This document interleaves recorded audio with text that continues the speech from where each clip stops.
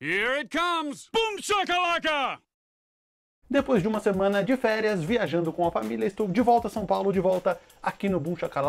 Meus últimos dois vídeos antes de viajar foram com os jogadores mais surpreendentes de cada franquia da NBA até este momento nessa temporada. Eu fiz um vídeo com as 15 franquias da Conferência Leste e depois um vídeo com as 15 franquias da Conferência Oeste. Nesse meio tempo que eu estava viajando, obviamente eu recebi 7.561 mensagens de vocês pedindo para fazer os mesmos vídeos, só que com as maiores decepções de cada franquia da NBA, não das maiores surpresas positivas, das surpresas negativas de cada franquia. Coisa que o MDJ também fez. Para quem não sabe, eu peguei a ideia dos vídeos anteriores do canal do MDJ ele fez a lista dele com as 30 surpresas de cada franquia, e ele também fez um vídeo com as 30 decepções de cada franquia, então vou seguir os mesmos moldes do outro vídeo, vou fazer esse vídeo aqui, que é da Conferência Leste, e em cada time eu vou colocar na tela o meu escolhido como a maior decepção, e o escolhido também do MDJ, que ele colocou no vídeo dele, e daqui a um ou dois dias eu lanço esse mesmo vídeo, só que com meus escolhidos, minhas decepções da Conferência Oeste. Feito? No Atlanta Hawks, minha decepção é o Chandler Parsons, não que eu esperasse muito dele depois dos últimos anos,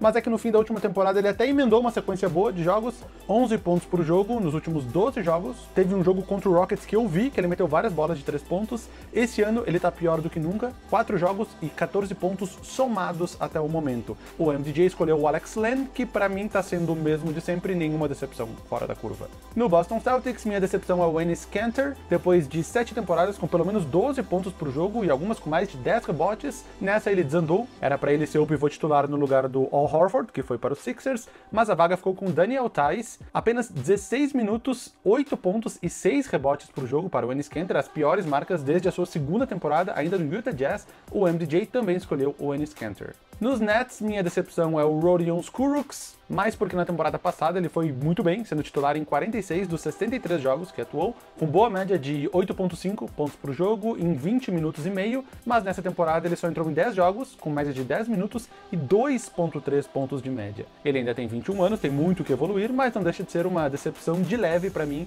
nesse primeiro quarto de temporada. O MDJ também, curiosamente, escolheu o Rodion Skuruks. Nos Hornets, eu escolhi o Nicolas Batum. É lógico que em algum momento a carreira dele ia entrar em declínio, mas vale lembrar que ele ainda tem 31 anos. Apenas 3.3 pontos por jogo em 22 minutos. O Batum ele perdeu espaço com os jovens que estão surpreendentemente despontando nos Hornets, como o PJ Washington, o Devontae Graham e o Miles Bridges. Não acredito que ele vá reconquistar esse espaço.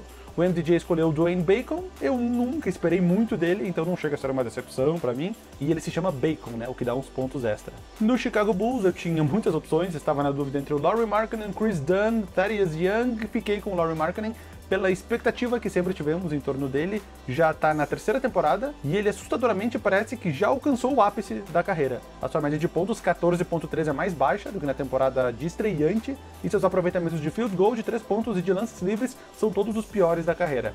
O MDJ também escolheu o Laurie Markkanen. Nos Cavs eu não tenho nenhuma decepção. Digo, o time está lá embaixo na tabela, mas isso já era esperado por todos. Até pensei no Larry Nance no Jordan Clarkson, mas nenhum decepcionou tanto a ponto de entrar aqui na minha lista. O MDJ escolheu o Darius Garland. Olha, eu não sou o maior entendedor de basquete universitário, mas o desempenho dele me parece só um pouco abaixo de uma quinta escolha no draft.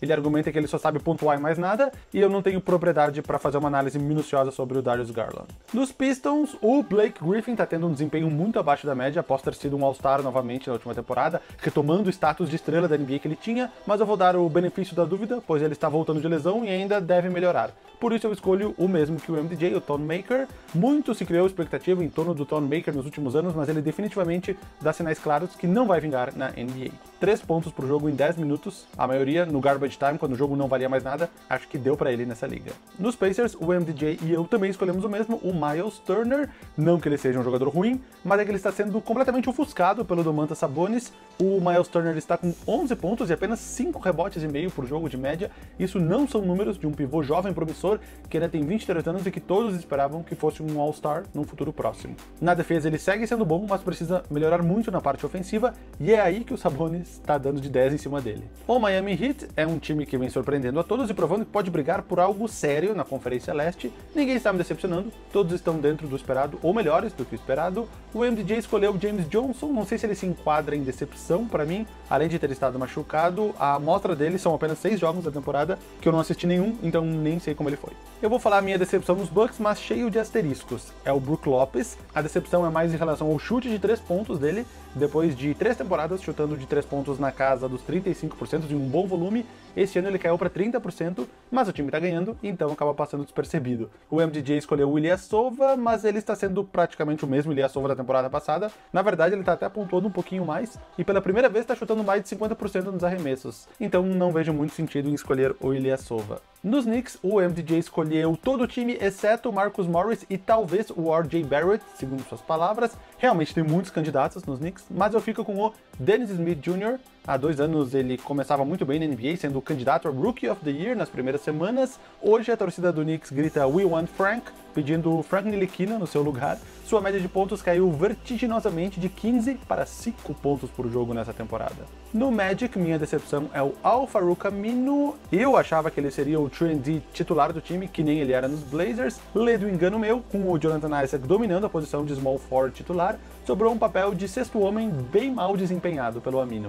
4.3 pontos por jogo em apenas 21 minutos, chutando 29% dos arremessos. O MDJ escolheu o Aaron Gordon. Realmente ele não está bem nessa temporada, mas ele vem evoluindo aos poucos desde a temporada passada, então não chega a ser uma grande surpresa. No Sixers eu escolhi o Mike Scott só para não deixar em branco. Uma mini decepção, só porque no ano passado, depois de ser trocado do Clippers para o Sixers, ele tinha se tornado o principal jogador do Sixers vindo do banco. Achei que talvez ele fosse ir dali para frente, mas aparentemente ele foi dali para trás. Menos minutos, menos pontos e o aproveitamento de 3 pontos caiu de 41 para 37%. O MDJ escolheu o Joel Embiid, eu acho um exagero tremendo, por mais que a gente esperasse mais às vezes dele. Talvez o jogo de zero ponto tenha sido uma decepção, sim, mas no jogo seguinte ele já se recuperou com um jogo de 33 pontos e 16 rebotes, não vale para mim como decepção o Joel Embiid. Nos Raptors, mais uma decepção com justificativa, no meu caso o Mark Gasol, Defensivamente ele segue brilhante, no jogo de zero ponto do Embiid era ele que estava marcando. Ofensivamente é que ele está praticamente nulo no time, seu aproveitamento de field goals caiu bizarramente de 47 para 35%, a bola de três pontos também de 44 para 35% e consequentemente os pontos de 9 para 6.4 por jogo. O MDJ escolheu o Rondé Hollis Jefferson, que é estatisticamente o mesmo da última temporada nos Nets, então não sei por que ele seria uma decepção. Para finalizar a Conferência Leste, nos Wizards eu escolhi o CJ Miles, apenas 10 jogos, ridículos 32% nos arremessos e apenas 6.4 pontos por jogo. Ah, mas ele tá no final da carreira, vocês podem argumentar. Nem tanto, ele ainda tem 32 anos, ele parece mais velho porque entrou muito cedo na NBA direto do high school em 2005. O MDJ escolheu Thomas Bryant, mas especificou a parte defensiva do jogo dele. Olha, a defesa dos Wizards é uma das piores, se não a pior da história da NBA, então acho até injusto apontar o dedo para um jogador só. E essas foram minhas 15 decepções da Conferência Leste, uma decepção de cada time da Conferência Leste, que nem eu falei lá no início, daqui um ou dois dias eu lanço esse mesmo vídeo, só que da Conferência Oeste, com as 15 franquias do Oeste. Nos vemos nesse próximo vídeo. Até lá, um grande abraço.